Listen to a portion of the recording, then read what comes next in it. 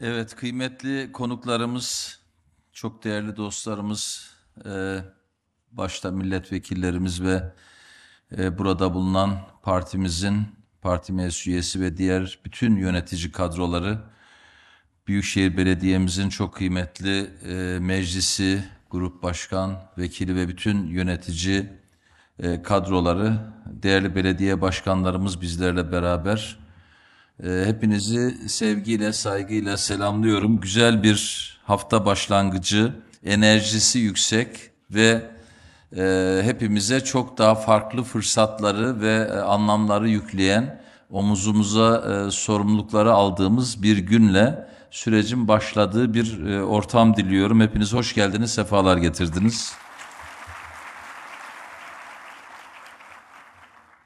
Çok yönlü hedeflerimiz var. İstanbul'a e, yola çıktığımız ilk günden itibaren çok yönlü. Bu hedeflerimizin her kavramı aslında güçlü. Kimi çok yerel kazanımlar içeriyor, kimisi çok evrensel kazanımlar e, üstleniyor. Muhtarlarımız da burada haklı. E, özür dileriz. Muhtarlarımız ayrı bir statü. Tabii e, bu kazanımların her birisini elde etmek için planlı programlı bir süreç e, ortaya koymak zorundayız. İstanbul'un e, adil bir şehir olması kavramı mesela benim için çok şeyi kapsayan bir kavram. E, içinde adalet sadece hukuk e, veya yargı üzerinden konuşulan bir şey değil. Yani bir çocuğun hakkı nedir ve bu şehirden nasıl faydalanmalıdırdan e, tutun birçok konuya kadar uzayabilir. Tabi İstanbul e, üretken ve yaratıcı bir şehir olmalıdır e, demiştik. İstanbul aynı zamanda mutlaka yeşil bir kent olmalıdır e, dediğimizde e, tabii çok yine derin kavramları içerisinde e, başlıklar içeriyor. 5 yılda e, gerçekten bizden önceki yıllara dönük kat be kat fazla iş yapabilmenin, bunu başarabilmenin keyfini ve gururunu yaşıyorum. E, neler yaptığımızı İstanbullulara e, dönem dönem anlatıyoruz ve sürekli e, onlarla bu süreci paylaşma e, gayreti içerisinde oluyoruz. E, Örneğin İstanbul'a e, 13 milyon metrekarenin üzerinde aktif ve kaliteli yeni yeşil alanı kazandırmak gerçekten e, önemli bir e, mesafe. Bu mesafeyi e, elde edebilmek e, öyle kolay bir e, iş değil e, olsa gerek. Hele hele böyle bir zaman diliminde yaşam vadileri, kent ormanları, doğal yaşam parkları bu anlamda e, belki de birçok yönüyle İstanbul'a yeni renk katan e, unsurlarıyla çok değerli çalışmalar. E, Büyükdere'deki Atatürk fidanlığı tek başına anlatılması gereken, çerçevesi çizilmesi gereken bir iş.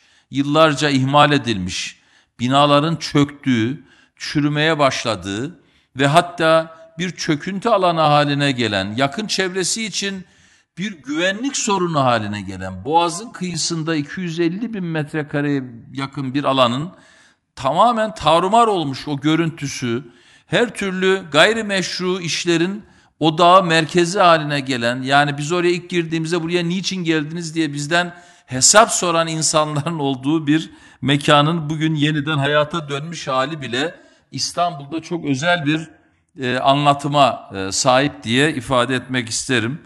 Tabii e, bunlar Yeşil İstanbul perspektifiyle hayata geçirdiğimiz İstanbulluların etrafında görüp e, hissettikleri ve yararlandıkları yatırımlar. Bir de Yeşil İstanbul kavramında özellikle e, pek farkına varmadıkları, görmedikleri ama gerçekten e, çok büyük kazanımları e, insanlarımızın hayatına e, ekleyen, sunan çevre yatırımlarımız var. Tabii çevre yatırımları o kadar geniş ki bugün e, İSKİ'nin ev sahipliğindeyiz. E, İSKİ'nin ya attığı her adım, yaptığı her iş aslında çevreye e, büyük katkı sunan işler ve yatırımlar.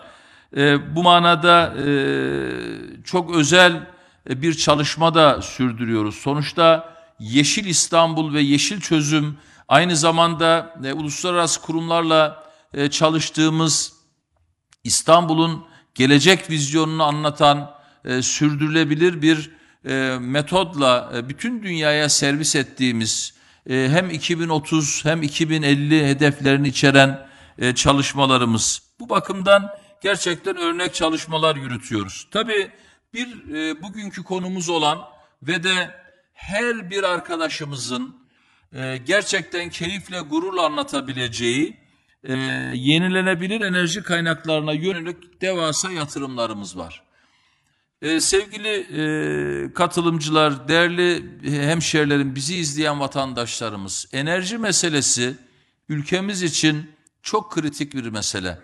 Yani hangi fırsatı nerede buluyorsak bize ait, kendimize ait, hele hele temiz ve yenilenebilir kaynaklar üzerinden elde edeceğimiz enerji bizim açımızdan çok boyutlu faydalara sahip. Başta ekonomik olmak üzere güvenlikle ilgili dahi ülkemiz için kritik bir konudan bahsediyoruz. O bakımdan şehrimize kattığımız ve kazandığımız her enerji kaynağının aslında bizim cebimizden çıkan milyarlarca dolarlık enerjiyle ilgili dışa dönük aktardığımız kaynağın içeride kalması anlamına geliyor. Ve bizim ülke olarak bütçe açığımızın en büyük e, hanesi enerji ile ilgili dışa akıttığımız paralar. Bu bağlamda yaptığımız her atırımı, e, yatırımı, attığımız her adımı ve atılımı tam da bu yönüyle bu milli kazanımla ele alıyor ve hiçbir fırsatı kaçırmamak adına büyük bir emek sarf ediyoruz. Örneğin çöp gazından enerji üretimi alanında dünyanın en büyük tesisini açtık.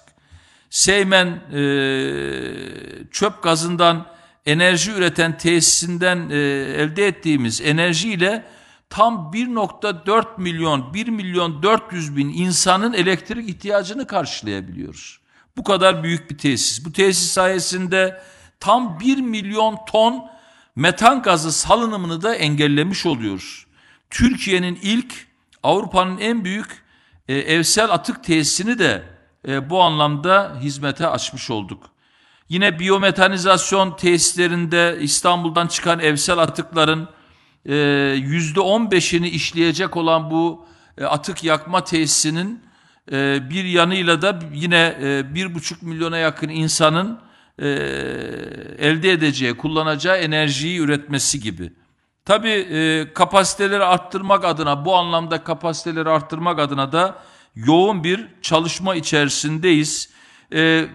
Bir tane daha Avrupa e, yakasında açtığımız bu tesisinin, e, yani az önce anlattığım atık yakma tesisinin ki e, burada hemen e, çok yakınımızda e, ve e, e, oda yerinde e, açtığımız bu tesisin bir benzerini de Kömürcü Oda'da, Şile'de açmak için yoğun bir çalışma e, içerisindeyiz ve bu çalışmanın yine Avrupa'nın bir başka büyük tesisini, en büyüklerinden birini yapma ile ilgili son aşamaya geldiğimizi ve uzun süredir yine Cumhurbaşkanlığı onayını, yatırım planına alınmasını beklediğimizin de altını çizmek istiyorum. Yani attığımız her milli adım, yani bu dediğimiz işler kendi kaynağından enerji üreten, yine bir buçuk milyona yakın insanın yaşadığı bir e, kentin enerjisini verebilecek güce sahip bir tesisinin yapılması adına uzun süredir beklememizin tek sebebi bir mürekkep ve bir kalem imza atacak ve biz yol yürüyeceğiz.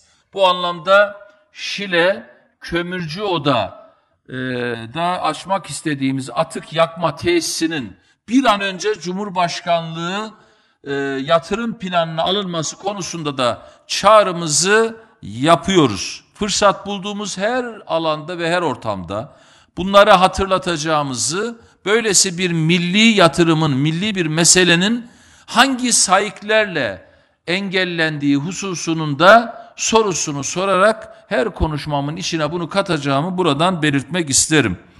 Tabi bu yoğun çalışma devam edecek. Açıkçası e, ne kadar çok yeşil alan üretirseniz üretin, eğer kullandığınız enerji kaynakları çevreye zarar veriyorsa doğayı koruma şansınız yok ki bütün dünya bu konuda inanılmaz adımlar atıyor ve atılımlar içerisinde. O nedenle en önemli hedeflerimizden birisi enerjinin özellikle yenilenebilir kaynaklardan e, üretilerek İstanbul'a fayda sağlamasıdır. Benim de en çok içimi ısıtan ve en çok hoşuma giden enerji kaynağı nedir derseniz e, bu amaçla güneş enerjisinde maksimum fayda sağlamayı e, ve yararlanmayı çok önemsiyorum ve inanın bu konuda da seferber olmuş durumdayız. Belediyemizin tesislerini kullandığı enerjiyi e, güneş enerji santrallerinden sağlamak için e, bir atılım yürüttüğümüzün de e, altını çizeyim. Hedefimiz inşallah 2029 yılına kadar belediyemiz binalarında enerji ihtiyacının tamamını güneşten sağlayacak seviyeye gelerek yüzde yüz çevre dostu bir kurum, çevre dostu binalara sahip bir kurum haline gelmek. Bu sayede yıllık tabi 148 bin ton karbondioksit salınımını da engellemiş olacağız. Bu hedef doğrultusunda bugün e, belediyemizin Park Bahçeler Daire Başkanlığı ve İSKİ Genel Müdürlüğü tarafından yapımı tamamlanan e, güneş enerjisi santrallerinin de bir nevi açılışını e, yapmış olacağız. Yani bütüncül bir toplantı, bir kavram bütünlüğü içinde e, bu sürece nasıl baktığımızı sizlere anlatan e, ama aynı zamanda bir açılışla da bunu süsleyen e, bir e, paylaşımı yapıyoruz bugün. Tabii İSKİ'nin yaptığı çalışmalarla da mevcut iki telli içme suyu arıtma tesisleri güneş enerji santraline ilaveten Büyükçekmece, Kağıthane ve Şile içme suyu arıtma tesisleriyle Kartal, Esenyalı, Dudullu, Bahçelievler, Mahmut Bey gibi e, pek çok içme suyu terfi merkezinde ve çeşitli İSKİ binalarında yenilenebilir enerji kaynakları projelerini hayata geçiriyoruz. Bu sayede İSKİ bünyesindeki güneş enerji santrallerinin potansiyeli 2019'dan bugüne tam 6 kat artmış durumda. Bu çok önemli bir atılımdır. Tabi e, güncel bedeliyle 275 milyon lirayı bulan bu 14 tane güneş enerji e, santrali e, ciddi bir güç kapasitesine de sahip. sahip 9400 kilowatt. E, yine e, tabi aynı zamanda e, bu santraller 6650 hanenin de yıllık enerji ihtiyacını karşılayacak kapasiteye ulaşmış oluyor. Karbondioksit salınımını engellemiş oluyor. 138 bin ağacın doğaya kazandırılması anlamına geliyor. 4450 aracın trafikten çıkartılması anlamına geliyor. E, bu yönüyle e, hareketimizin e, devam etmesini istiyorum. Tabii şu var, İSKİ e, kurumumuz burada duracak değil. E, genel müdürümüzle de konuştuk, bu atılım devam edecek. E, çok daha yukarılara tırmanması gerekiyor. Burada e, özellikle e, birazdan başka yatırımlara da e, gireceğim. Özellikle e, Park Bahçeler Dairemiz bünyesinde sadece iki adet güneş santrali vardı 2019 yılında.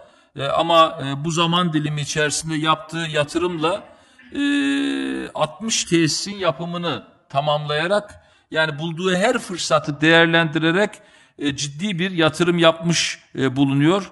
Bu anlamda e, kurulu bulundukları binalarda da yüzde 45'e yakın elektrik ihtiyacını karşılar halde e, özellikle Şile Spor Kompleksi, Tuzla, Bahar Engeller Merkezi, İBB Bakırköy Ek Hizmet Binası'ndan Cebeci Lojistik Merkezi'ne kadar pek çok tesiste enerji santralleri yerini alıyor. Ee, bu yönüyle özellikle çevreci yatırımlarda bulunan bütün kurumlarımızın yöneticilerine hepimiz hepinizin huzurunda yürekten teşekkür ediyorum. Emeklerine ve düşüncelerine sağlık.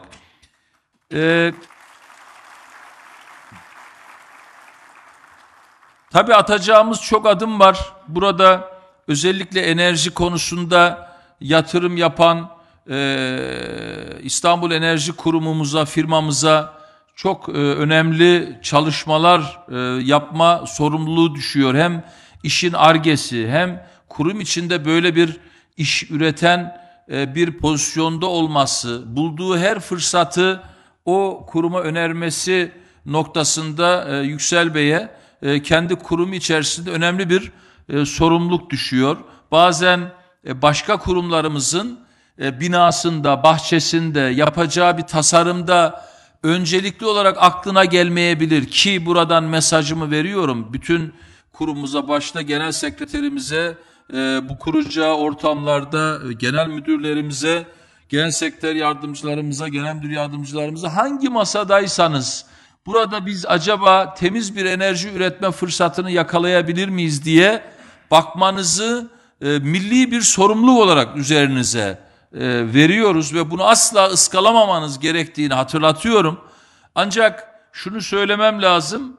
E, bu konuda da yine bu fırsatları kovalama görevini yine iştirakimiz olan ve bu konuda ciddi e, yatırımlar hatta özel sektörle de işbirliği yapan e, bu kurumumuza da önemli bir görev düştüğünü e, hatta birçok projeyi proje etüt dairesiyle beraber şimdiden yapı projelerini, çevre projelerini e, şimdiden analiz ederek çevreye uyumlu, estetik kurgusuyla hiçbir sıkıntı yaratmayacak bir altyapıyla kuracağımız her tesisi bu şehre kazandırmanın e, bu ülkenin cebinden, bu milletin cebinden milyarlarca dolarlık e, enerjiyle ilgili dışa giden paranın e, yurt dışına gitmemesi ve bu ülkede kalması anlamına geliyor.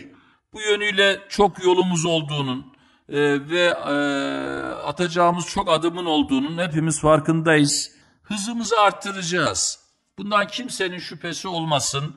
Yeşil enerji yatırımlarında da çok güçlü adımlar atacağız ve o seçimde söylediğimiz e, sloganın tam yol ileri kavramının sadece bir slogandan e, ibaret olmadığını, tam aksine karakterimiz olduğunu, kamuya kazanç sağlama ve kamuya iş üretme konusunda e, prensibimiz olduğunu, şiarımız olduğunu her anımızda hatırlayacağız. O bakımdan enerji yatırımlarında da kesinlikle tam yol ileri diyoruz.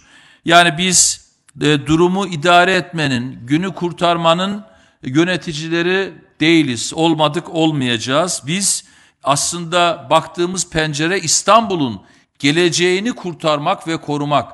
Bütün bu kavramlar özellikle yeşil çözüm içeren kavramlar gerçekten gelecek nesillerin e, kurtulması, şehrin korunması, o bakımdan bu şehre zarar verecek bütün unsurları, Marmara'yı kirletecek bütün unsurları, İstanbul'u derinden sarsacak sözüm ona projeleri, sözüm ona bir takım kavramları da bu şehrin insanlarının da bu şehrin gündeminden de zihninden de çıkartmak en büyük e, çalışmamız. E, bu şehrin sadece bu şehrin değil, tabi e, kendilerinin e, ikbalini düşünen ya da vizyonları sadece bir seçimi kazanma yönünde bir e, altyapıyla yol yürümeyi düşünen her kim varsa biz o yönetimlerden ya da kişilerden değiliz, hiç olmadık ve olmayacağız. Evet, seçimleri de kazanıyoruz. O bir gerçek ama e, bizim kavramımız seçim kazanma hedefi değil, işini iyi yapma hedefi. Çünkü biliyoruz ki zaten ondan sonra sonuç seçimi kazanmak olur. Ee, inşallah böyle yaparak bundan sonraki seçimleri de kazanmaya devam edeceğiz. Ve şu ahlakın önemli olduğunu düşünüyorum. Çözüm bulmak, insanlara iş üretmek, hizmet üretmek, toplumla gerçekleri konuşmak, toplumla üretkenliği konuşmak, üretimi, endüstriyi, teknolojiyi, ve bilimi, kültürü, sanatı, üretimi konuşmak bu toplumun en çok arzuladığı şey. Herkesin çocuklarında, gelecek neslinde aslında görmek istediği kavramlar bunlar.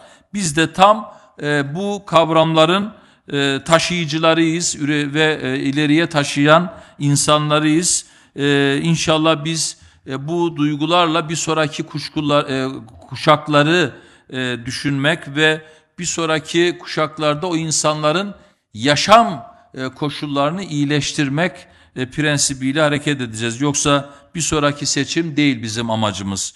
Her şeyden önce e, gönülleri kazanmanın çok önemli olduğunu hazır burada çok kıymetli yöneticilerimizi e, görmüşken, yakalamışken tabii misafirlerimiz de var.